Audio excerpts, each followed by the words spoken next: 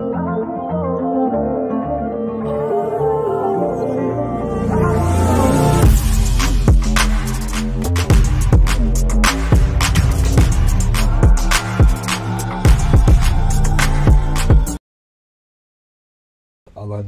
Limanındayız. Polis geldi beni atıyor buradan. Diyor çık kardeşim diyor sen çok kaldın diyor buradan. Tabii ki şaka. Fazla dikkat çekiyor. Sirk maymunu mu derler affedersiniz. Bilgiye aç. Bir tane düdüklü tencere edinin satılık diyor. Yılbaşı gecesi. İlanı buldum herhalde. Size bir etrafı gezdireyim. Her yere öğreniyorsunuz. Camlarımızı güzel kapatalım. Terk eyliyoruz. Bir karavancı daha gelmiş. Yine böyle devam ediyor gidiyor. Bazı esnaflar çok erken açıyor. Ben eğlenceye yönelik güzel akıyor. Eğlence mekanları şuradan başlar. Giriş serbest. Ve burada kavga çıkmıştı. Millet kafayı buluyor. Böyle havuzlara bayılıyorum. Başka bir karavan daha gelmiş arkadaşlar. Ama bu karavan Rus mu?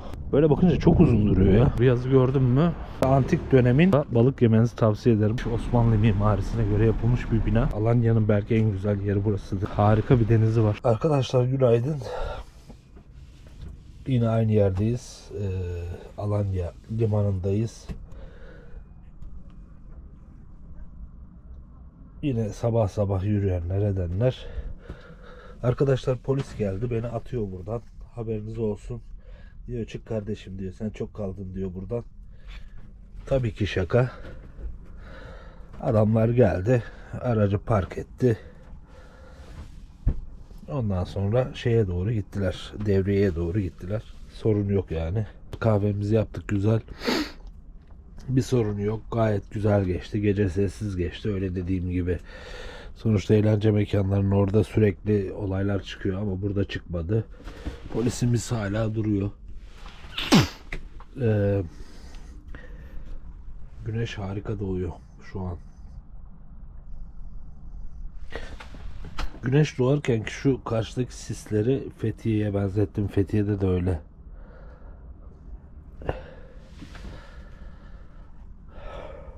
Karavanımın tüm camlarını açtım. Biliyorsunuz hani sakinlik varken açayım, havalansın. Kapalı kaldı çünkü sol taraf ve sağ taraf battaniyeleri vesaire katladım. Bu şekilde kalsın. Biraz koku sıkayım da.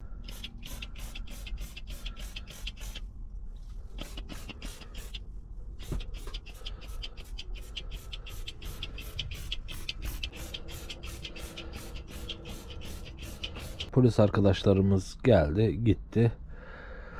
Yani niye söylüyorum? Ee, hani kimse bir şey demiyor size kalmanıza. Aklınızda olsun ki bütün camlarım da açık şu anda. Ee, rahat olabilirsiniz o konuda. İstediğiniz yerde kalabilirsiniz. Ee, sadece şu konuda rahatsız oldum. Fazla dikkat çekiyor karavan. Her gelen düşünün yani günde 5000 kişi geçiyorsa burada her gelen kafayı çeviriyor bakıyor. Ee, do, dolayısıyla belli bir süre sonra şey oluyorsunuz artık. e, sirk maymunu mu derler? Affedersiniz öyle. E, tabii kötü niyetle bakmıyorlar canım. Yani böyle hani e, heveslenerek bakıyorlar. E, seviyorlar. Biz millet seviyor o karavanı. E, işte belli bir süre sonra da o size baskı ve sıkıntı vermeye başlıyor. E, o yüzden buradan çıkacağım arkadaşlar. Hani rahat olamıyorsunuz bir türlü e, yerlisi yabancısı dediğim gibi böyle bir e, sıkıntı var. Aklınızda olsun. Tabii şu konuda bizim milletin hakkı diyemeyeceğim. Ee, öyle çok e, evet hevesleniyorlar şey yapıyorlar ama öyle sık sık gelip daha içine bakalım şudur budur sorular sormuyorlar. Ee, çoğu bilinçli zaten ama oluyor da soran varsa da bunu anlayışla karşılıyorum çünkü e, kişi ya karavan almak üzeredir ya alacaktır ya mevcut arabasını e, karavana çevirecektir. Dolayısıyla bilgiye aç. Ciddi anlamda aç. Ve böyle bir karavan geldiği zaman da çekine çekine de olsa mecburen geliyor soruyor. İyi ki de soruyor. Ben de e, tavsiyelerde bulunuyorum o kişilere. E, yani hani sırf geyik olsun diye gelip soran açıkçası e, yok. E, servis minibüsçüler, e, minibüs şoförleri genelde. Şimdi araçları bazen eskiyor. Dolayısıyla ikinci eli e, para etmiyor. Ee, adam da haklı olarak diyor ki ya ben hani e, zaten şoför insanın ruhunda var. Hani tır, kamyon, otobüs yani o insanları eve bağlayamazsınız öyle diyeyim. E, onlar da zaten belli bir yaşa gelmiş kişiler. Araçları eski. Evet aracını değişecek. Yeni bir araç alacak ama ikinci ele işte 100, 150, 200 eder. E şimdi adam diyor ki ben bunu yapacağıma diyor. Hani yeni araç alacak gücü de var. Hani bunu satmasına gerek yok. Ee, güzel de büyük arabalar yani. Hani karavana çevirebilir miyiz, şunu yapabiliriz, bunu yapabilir miyiz diye soruyorlar.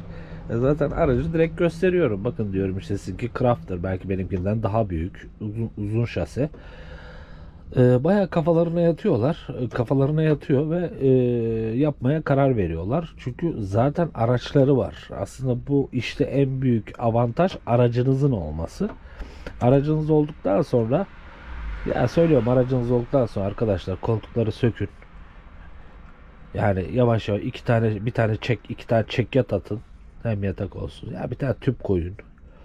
Ee, ya böyle gezebilirsiniz yani sorun değil. Hani yavaş yavaş yaparsınız e, keyfinize göre.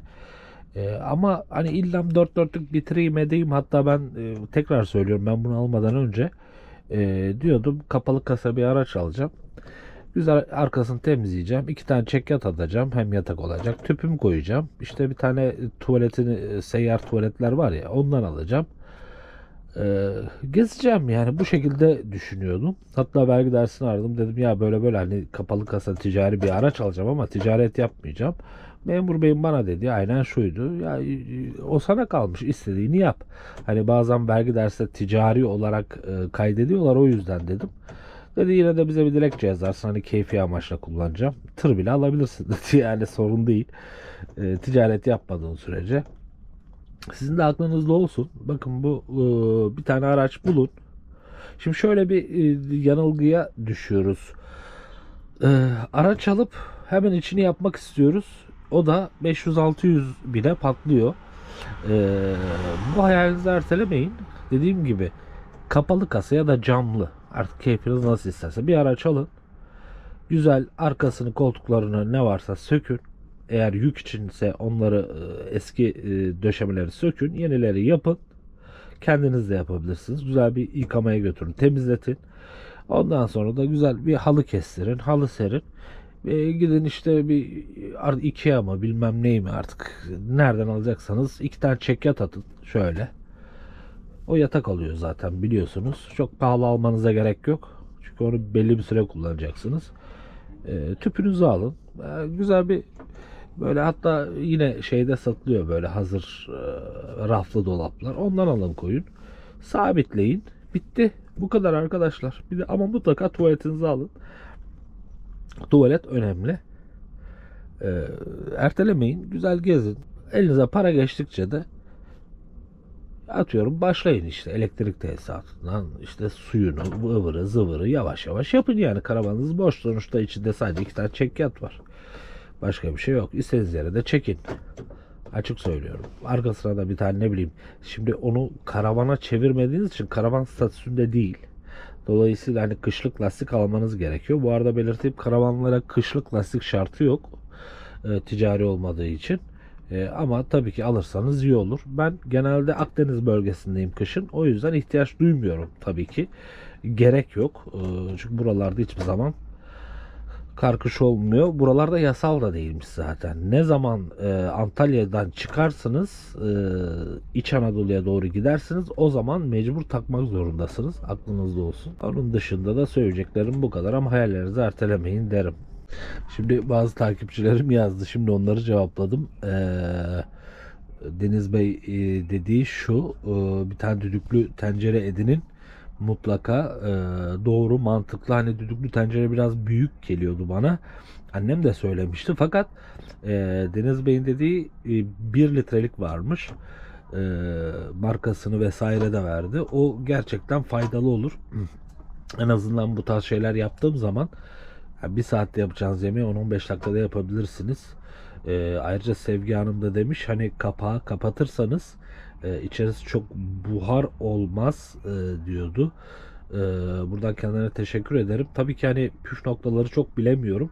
Ee, bu konuda da e, tavsiye verdiğiniz için teşekkür ederim ama düdüklü tencereyi büyük ihtimalle vardır zaten internette Trendyol'da.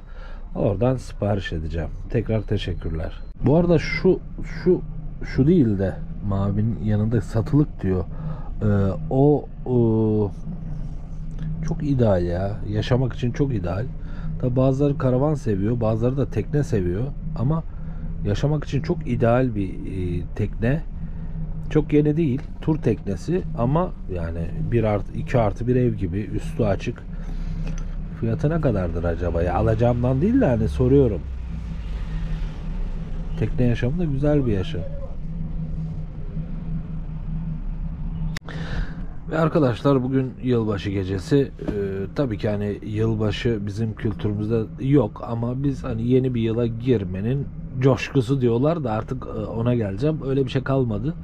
Ee, benim için artık bayramlar, seyranlar, e, yılbaşılar, özel günler çok bir şey ifade etmiyor. Ee, onlar hep çocukluğumuzun güzel anılarında kaldı. Yılbaşı bir ay önceden, iki ay önceden bir heyecan kaplardı. Bayramlarda yine öyle. Tabii ki bayramlarda yine görevimizi yerine getiriyoruz. Yani mümkün olunca büyüklerimizin yanına gidiyoruz. Fakat e, kimse kimseyi kandırmasın. Artık böyle bir heves şey yok. Çünkü artık belli ya şimdi gençlerde de yok. Yani bizim çocuklarda da yok ki öyle bir şey.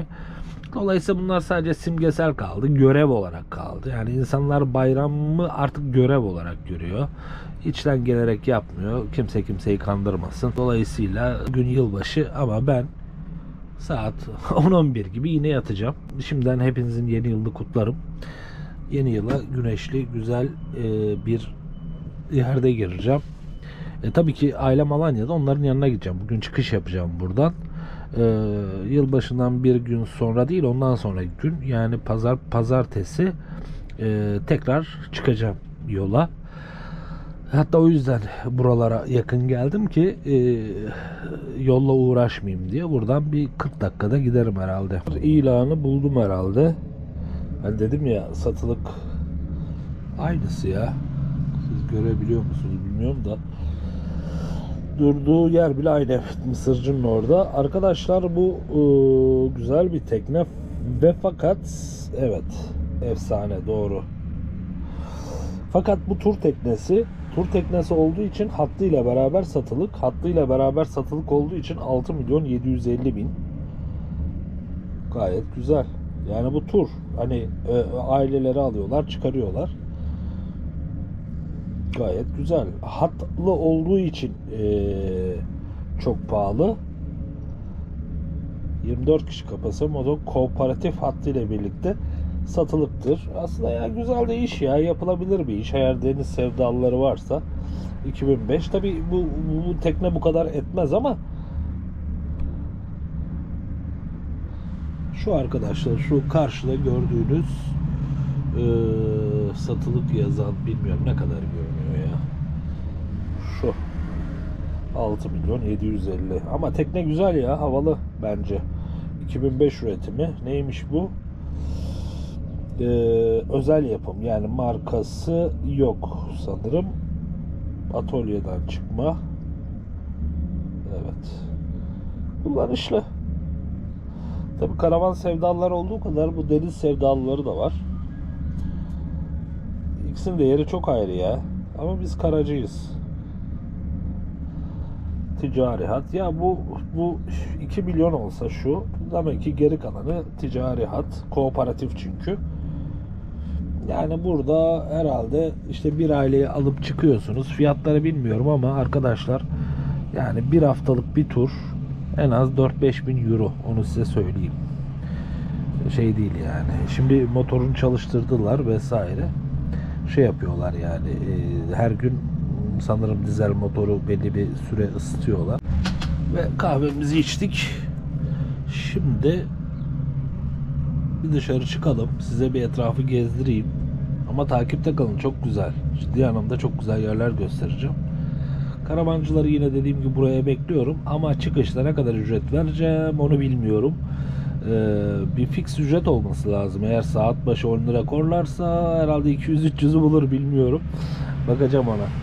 Hani şunu diyebilirsiniz ya Anıl sen Konya altındaydın ne, ne ara Alanya'ya zıpladın? Geliş amacım işte yılbaşımı ailemle geçirmekti. Ee, o yüzden bu tarafa doğru yanaştım. Buradan tekrar Alanya ve çevresini gezeceğiz. Oradan da e, şeye ne derler? E, ya kız geçti e, bakıyor bir de yani e, millet yanlış anlayacak diye de ko- korkmuyor da değilim ha. Yani şimdi biri gidip dese ya bir tane adam var arabada herkes kameraya çekiliyor dese al uğraş dur yani. Hani bu gerçi kamera kayıtlarını izletirim o sorun değil de yani e, olur mu olur yani her şey gelebiliyor başınıza bu işlerde. Ya konuştuğumu görüyordu bilmiyorum herhalde anlamıştır.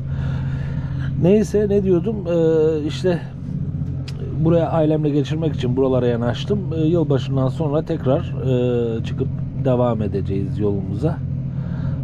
Ee, ama hazır gelmişken de Alanya ve çevresini size e, göstereceğim. Çünkü burası gezmek için en ideal zaman. Yazın çok sıcak. O yüzden buralarda durmadım. Zaten belli bir süre sonra da e, her yere öğreniyorsunuz ve öğrendiğiniz için de artık durak gibi düşünün. E, daha rahat hareket ediyorsunuz. Her yeri bildiğiniz, suyunu suyunu bildiğiniz için rahatlıkla oraya gidip tak diye kalıyorsunuz. E, o rahatlığınız var ve yeni yerler keşfetmek için de e, zamanınız doğuyor. Camlarımızı güzel kapatalım. Aracımız iyi havalandı çünkü kapalı kaldı. Tekrar hatırlatayım camlar açıkken sakın elektronik eşyanızı vesaire şeye koymayın. Ee, cam yanlarına koymayın. Ya boyun uzun olması bir yandan avantaj, bir yandan dezavantaj. Rahatlıkla böyle uzanıp kapatabiliyorsun. Şunu da açayım da bari güneş. Allah. Siz de görün arkadaşlar. Ee, şey bu toz. Bir de e, mazot şey çalışıyor, gemi çalışıyor. Sanırım onun şeyi de var. Ee, da kapatayım. Arkadaşlar çıkalım. Sahil boyu gezeceğim. Size mekanları göstereceğim. Güzel yerler göstereceğim. Takipte kalın. Ve arkadaşlar aracımızı terk ediyoruz. Güzel bir yürüyüş bizi bekliyor.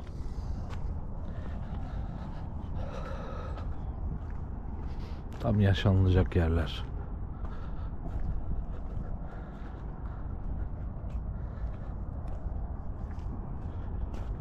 Üstü oteller var. Şunlar restoranlar. Bunlar kapanmış herhalde de niye kapanmışlar? Çünkü Alanya artık şey e, kışında faal bir yer. Özellikle bu Rusya-Ukrayna savaşından sonra baya baya gelen oldu. Bunlar hep tur teknesi kooperatiflere ait. Tur tekneleri hatlı. Yalnız değiliz. Bir, bir karavancı daha gelmiş. Büyük ihtimalle bizi görüp geliyorlar en azından. Hani buradan geçerken karavancıyı görüyor, kalmak istiyor. Aa diyor bu kalıyor ben de kalabilirim. İyi oluyor. Şu İzmir 35 plaka Camping Adventure. Buradan selam ederim. Belki bizi izliyordur. Bunların hepsi tur teknesi. Bu arada bu battaniye de dünden beri burada.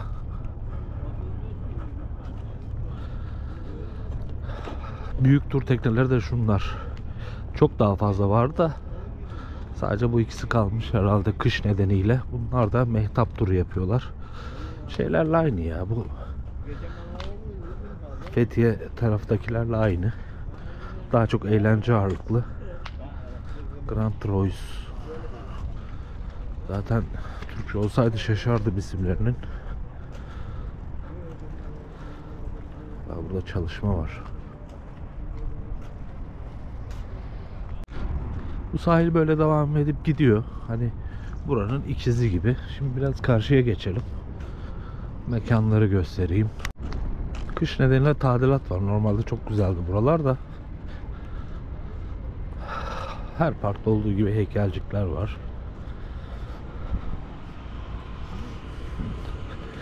Zaten karavanım bir 500 metre ileride. Arkadaşlar şurası kale. İşte oraya çıkmıştım. Şu tepede kalmıştım.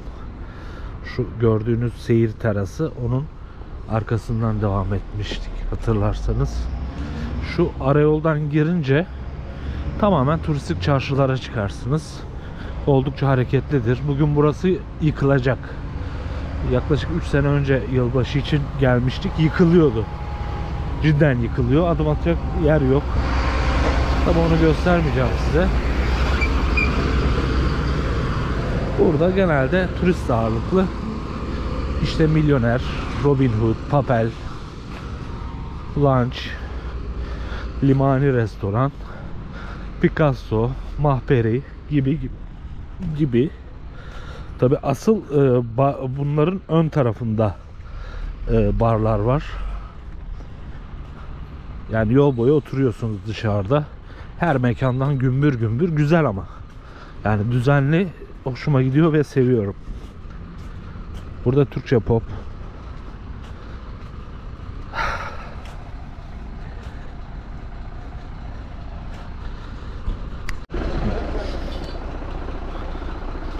Havana, Vita, Paşa. Bunların asıl ön taraflarında yerler var. Yeniçerileri dizmişler. Yeniçeri olmadan da olmuyor. Türk deyince kültür hemen Yeniçeri akla geliyor. Korkutmayın arkadaşlar insanları.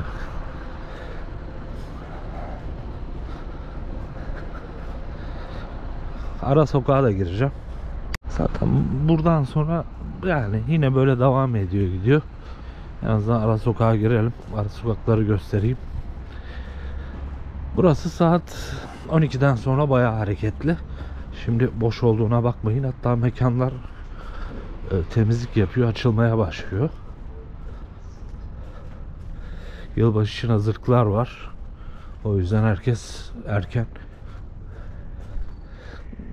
Arkadaşlar dediğim yer bura bura yıkılıyor. Yani cidden yıkılıyor. Bu herkes bu dışarıda masalarda. Şu baştaki bayağı şey hareketli. Bunlar hep kafe, bar, disco. Bugün yıkılacak burası. Daha bulursam göstereceğim arşivleri.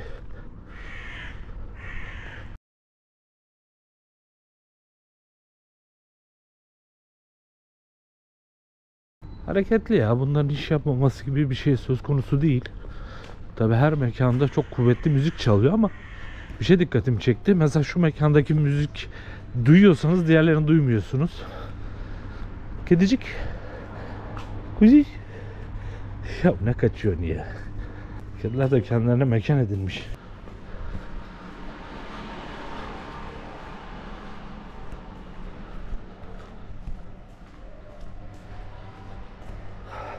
Gezmesi çok zevkli ama mutlaka gelin.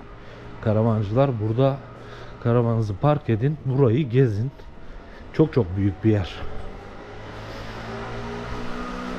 Burası da aynı şekilde. Buralar ışıklandırılacak.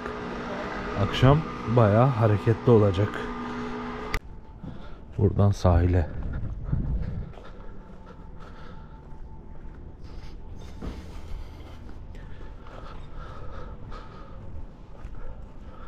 Allah helal olsun. Bazı esnaflar çok erken açıyor. Bazıları saat 12'ye doğru açıyor.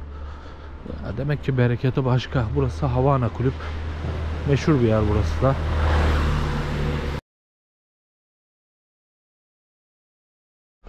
Alt cadde tamamen eğlenceye yönelik.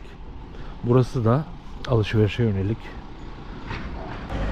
Burada güzel bir süs havuzumuz var ama güzel akıyor. Eğlence mekanları şuradan başlar. Ee, bütün polisler buradadır. Burası zaten şey şube müdürlüğü. Mekanlar hazır. Belli saatlerde giriş serbest. Mesela 3 sene önce burada kavga çıkmıştı. 12'ye doğru millet kafayı buluyor. Ey yavrum aslanlara bak.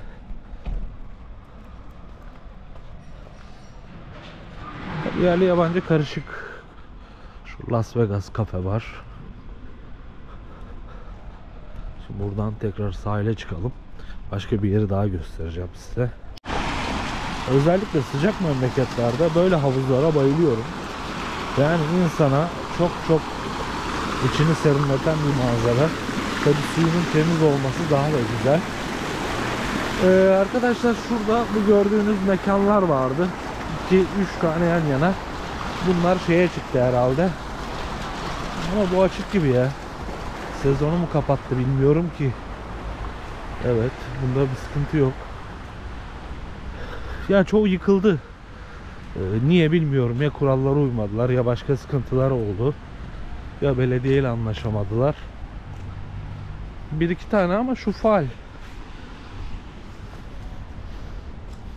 Yıkım yapıyorlardı çünkü. Burada çocuklar için zıp zıp. Burada çocukların ve gençlerin e, kay kay bisiklete binmesi için yerler var. Şu tepeden güzel şey akıyor şelale. Baya hoş duruyor yani. Şimdi kapalı gerçi de. Gençler hep burada. Şimdi karavanın arkaya başka bir karavan daha gelmiş arkadaşlar. Güzel. Tam benim arkaya gelmiş. İyi 3 tane karavan olduk şimdi. Ama öyledir zaten. Hani ben de bir yere giderim bakarım karavan orada duruyor. Demek ki diyorum müsait ben de yanaşıyorum. Bunda bir şey yok yani. E tabi bugün cuma bir de burada ciddi yılbaşı e, eğlenceleri olacak. E, şimdi insanlar hani ailemle geçirmesem ben de burada geçiririm. Akşam giderim orada takılırım. Akşam da gelir karavanımda yatarım. O şekilde düşünün. Tuvalet de hemen burada zaten. E, ama bu karavan Rus mu? Evet. Rus plaka mı? Farklı bir şey ya. Olsun. Toz katayım. Bizim fakirhane burada. Böyle bakınca çok uzun duruyor ya. Burada da mekanlar var. Şurayı size göstermek istiyorum özellikle şurada. Ee, o yüzden o tarafa doğru ilerliyoruz. Orada bir yazı var. Bir yazı gördüm mü? Anlamak istiyorum nedir ne değildir. Bakalım ilginç. Arkadaşlar burası Lifos suyu doğal minerallere sahip eski bir su kaynağıymış. Antik dönemden Selçuklu'ya yakın tarihimize kadar gemicilerin tatlı su ihtiyacını karşılamıştır. Burası dedim ya korsan liman. He buymuş. Çok su kalmamış ama temiz güzel. Bakın arkada daha fazla var. Burası işte antik dönemin su ihtiyacını karşılayan önemli bir yermiş. Belli zaten çevirmişler. Şu gezi trenine binip Bizanlar 5-10 liraydı.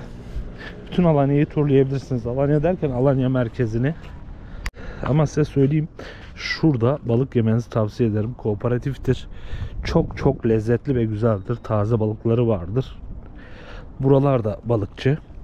Yani balığı sevenler buralarda yiyebilir. Fiyatlar normal. Özüne sadık kalınarak yapılmış Osmanlı mimarisine göre yapılmış bir bina. Burası da aynı şekilde özüne sadık kalınmış e, kent arşiviymiş Alanya Belediyesi'nin. Altta da halıcı var.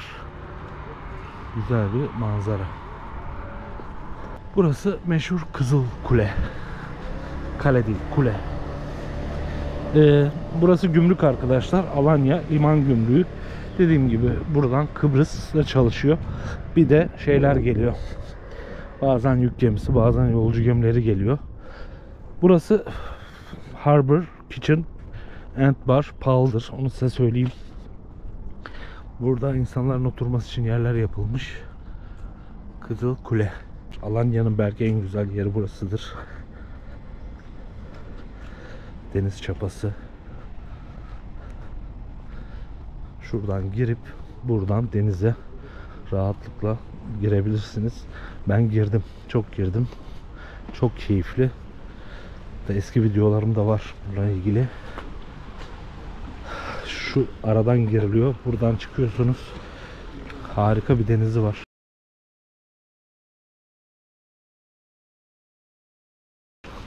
Ama biraz müsilaj bırakmış. Mevsimsel olarak normaldir. Kale bu şekilde devam ediyor. Yani burayı bitirmeniz imkansız ya. İçeride çok güzel kafeler, bahçeler harika. Keşke zamanımız olsa her yeri göstersem ama buraya gelin.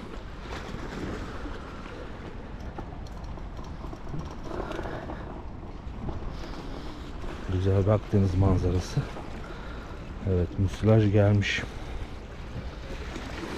Mevsimsel yani kirlilik değil de karavanımıza gidiyoruz. Aracımızı çalıştırıyoruz 5-10 dakika ısıtıyoruz. Sonra e, anneme sordum bir şey lazım mı? Yok dedi ama ben yine market uğrayacağım bir şeyler alacağım. Sonrasında eve gideceğim. Duşumu alacağım. Sözde yeni yılı kutlayıp gireceğiz.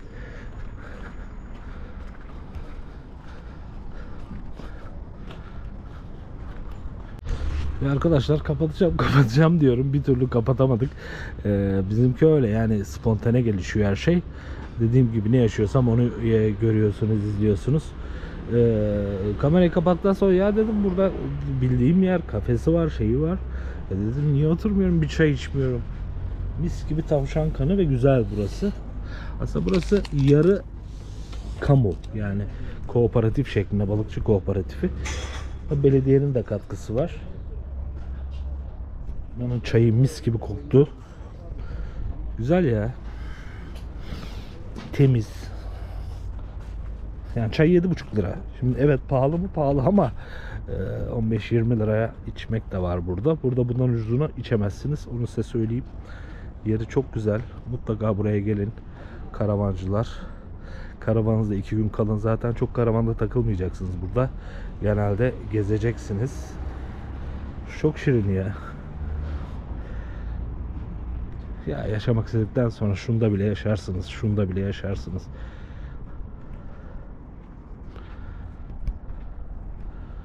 Harika. Tabii bizde durmak yok. Bir ya da iki gece konaklayıp tekrar devam edeceğiz. Orada balık ekmek yapıyorlar. 60 lira uskumru, hamsi 70 TL ekmek arası. Ama harika. Onu size söyleyeyim. Ay. Arkadaşlar afiyet olsun. Yeni yıla çay içerek girelim.